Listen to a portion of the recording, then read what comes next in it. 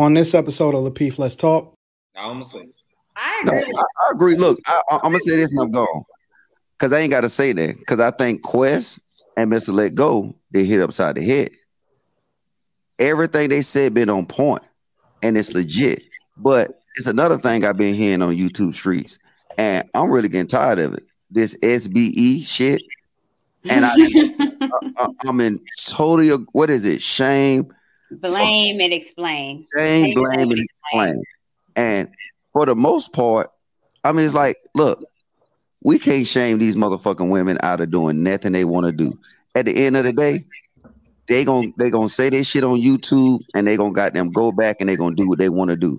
So, like I said, when I had these conversations, I don't necessarily have these conversations directed to the women on the panel. I hope some of the women can see, you know what I'm saying, with our discussions.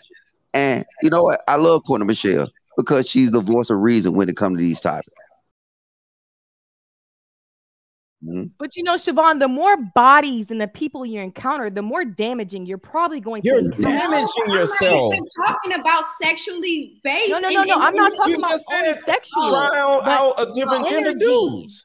Okay, yeah, yeah, yeah. No, I You agree just with said that. that. I do agree with that. You like can pull your encounter energy. with all these men th- that's that's gonna rub off on you like that that's transferring your baby daddy probably rubbed off on you like you don't want to encounter so many men like that like Anton, like Rita. Rita was a virgin. Rita was a virgin. She didn't. She doesn't have all that toxic men that we've probably dealt with, right? Yeah. So she did. She did. You. She didn't need to deal with multiple partners to get her married, and probably Quest wife too. So Well, Siobhan, let me let, let me say let me say this, Siobhan. I've been married before, and that don't that doesn't make me better than anybody. But the experience of being married and the mistakes I made and how things went or whatever, that was a beautiful experience.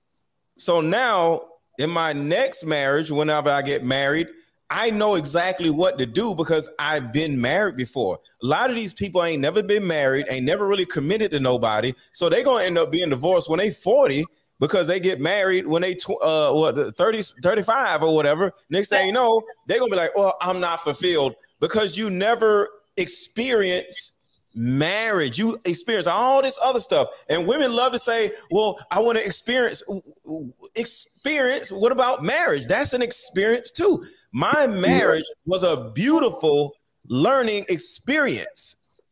Hey, So Mr. why Let Go, you, That's hey, not- Mr. that's Let Go, not you're the pink side, the Hey, you're the pink side. You acting though. It's sensitive to not- our feelings. You on pink, you're the pink side. You acting sensitive to other feelings, Mr. Let Go. I need Yo, you. that, that, that needs to be your, your Instagram uh uh thing. You need to put that on Instagram, Twitter. Every time you post, I that, gotta that tag needs you to be it your, your, your avatar. So, Mr. Let Go, what would Yes.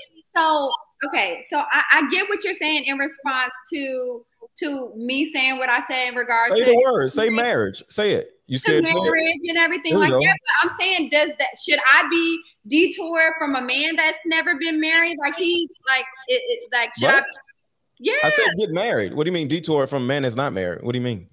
you're saying that the experience. I'm saying get married is is what I'm saying.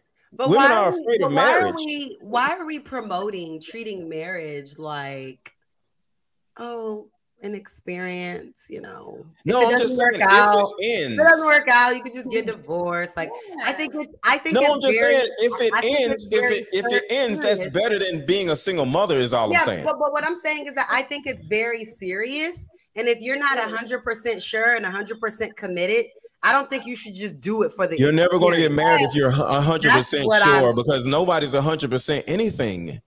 But I'm saying if if if my I'm person saying if you have doubts. Women will have a whole I'm, baby, I'm saying, but okay, they so won't get rephrase- married. so I let want me y'all to think about that.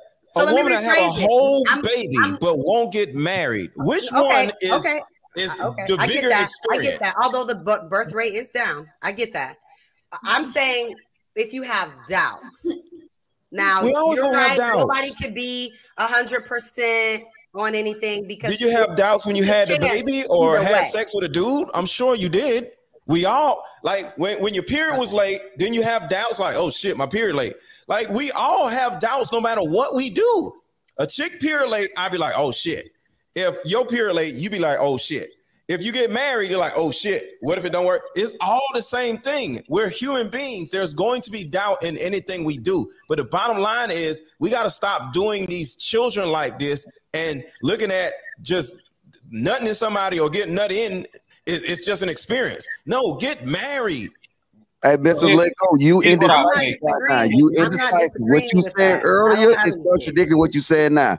I You don't we're contradict indecisive. myself. Uh, tell me exactly when I contradicted myself.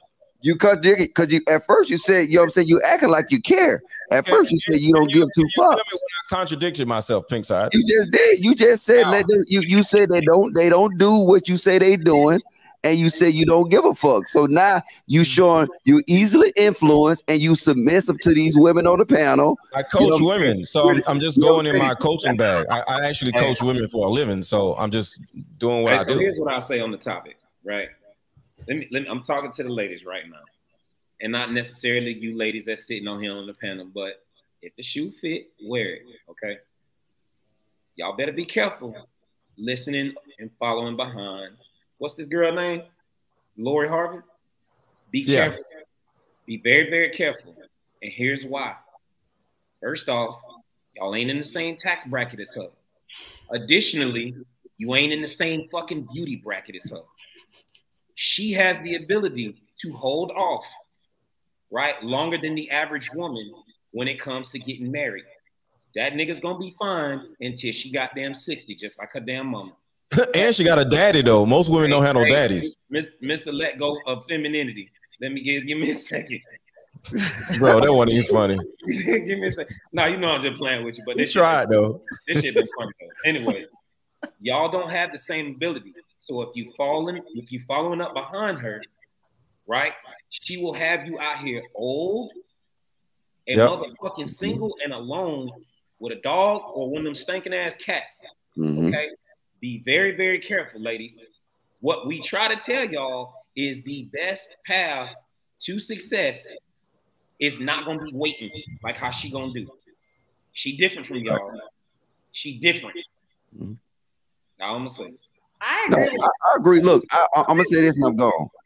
Cause I ain't gotta say that. Cause I think Quest and Mr. Let Go, they hit upside the head. Everything they said been on point and it's legit. But it's another thing I've been hearing on YouTube streets, and I'm really getting tired of it. This SBE shit. And I, I I'm in total what is it? Shame, Blame and explain. shame, blame, and explain. And for the most part, I mean, it's like, look, we can't shame these motherfucking women out of doing nothing they want to do. At the end of the day, they gon' they gonna say this shit on YouTube and they gonna goddamn go back and they gonna do what they want to do. So, like I said, when I had these conversations, I don't necessarily have these conversations directed to the women on the panel. I hope some of the women can see, you know what I'm saying, with our discussions. And you know what? I love Courtney Michelle because she's the voice of reason when it comes to these topics.